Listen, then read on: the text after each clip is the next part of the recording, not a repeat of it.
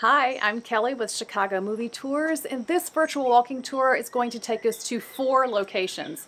Here in my house in the suburbs of Chicago, Grant Park in the Loop area of Chicago, Arrigo Park in Chicago's Little Italy, and the Fire Museum of Greater Chicago located on the city's southwest side. In this tour, we are going to use some recent events to take us back to September 8, 1925, when a Hollywood artist was invited to Chicago to, let's say, spruce up a once toppled statue of Christopher Columbus.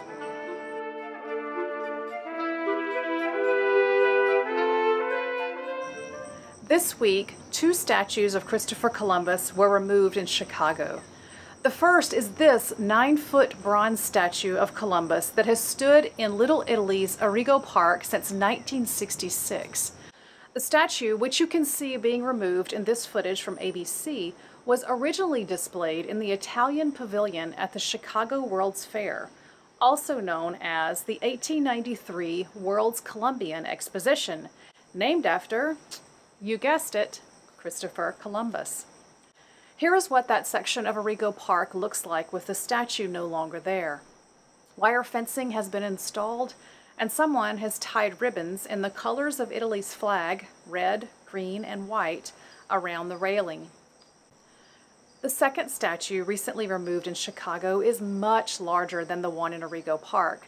This 33-foot bronze statue that stood in Grant Park was created to commemorate the city's next World's Fair, the Century of Progress, held in 1933 and 1934.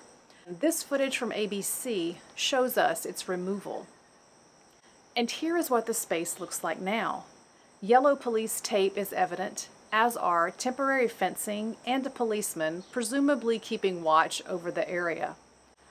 Both statues of Christopher Columbus have been the subject of controversy almost since their beginnings, as you can see in this massive front page spread from the Chicago Sunday Tribune in 1901.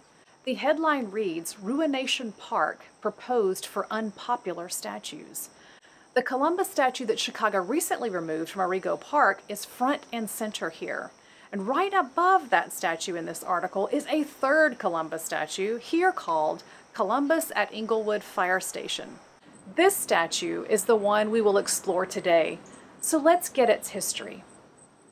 Like the recently removed Arrigo Park statue, this one came to us at the 1893 World's Fair.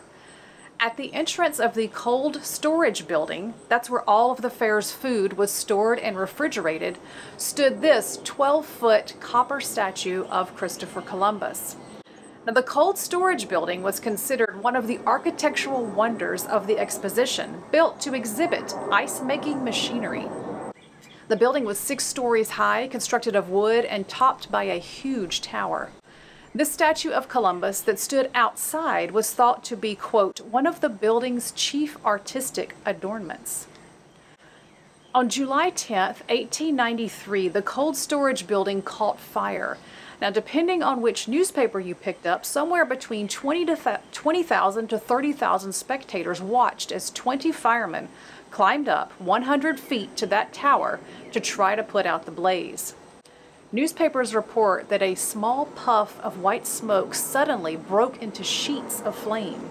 Meanwhile, that statue of Columbus outside the building was interfering with the work of the firemen, so some of those guys lassoed the structure and dragged it to the ground but it was no use. The firemen were trapped. Except for some ropes, there was no escape. A few men swung free, but 12 firefighters fell within the burning building and died. This was the fair's first tragedy, and at the time it was the deadliest tragedy for firefighters in Chicago's history. The Great Chicago Fire of 1871, yes, killed nearly 300 people, but none of them were firefighters, the Chicago Tribune reports. Remarkably, the statue of Christopher Columbus that adorned the cold storage building at the World's Fair and now lay in a pile of debris was barely damaged in the fire. A week later, the owner of the statue from Ohio presented it to a Chicago fire chief as, quote, an appropriate monument for the reason that it weathered the flames that consumed the victims. Eventually, the once toppled statue of Columbus that had adorned the cold storage building at the 1893 World's Fair was moved to a firehouse at 6345 Wentworth Avenue. In 1925, the firemen who were caring for the statue wanted to spruce it up. To do this, they hired a man named Carlisle Cadle, an artist who was connected in some way with Mack Sennett Studio in Hollywood. Now, in the silent era, Mack Sennett was known as the king of comedy.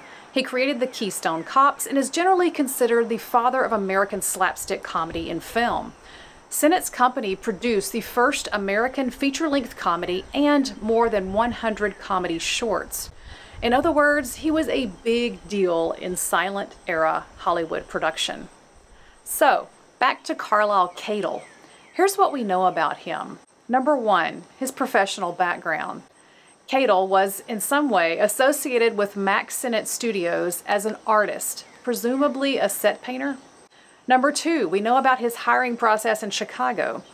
So the battalion chief at the firehouse where this now 30-year-old Christopher Columbus statue stood intercepted Cadle on his way east and asked him to decorate the statue in lifelike colors. Number three, we also know a little about his sense of humor. So in one hand of the Columbus statue rests a globe.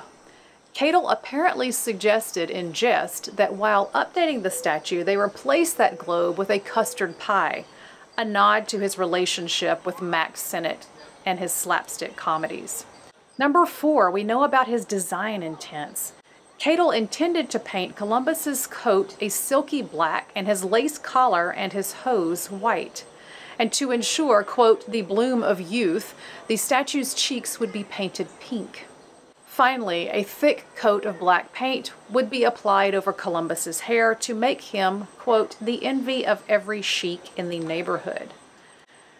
Since 1925, the firemen who have watched over the statue must have been impressed with Cadle's design and finished product because they seem to have maintained the look for years. Here is the statue today with its silky black coat and hair equally as black, and it still has its white hose and lace collar and rosy cheeks.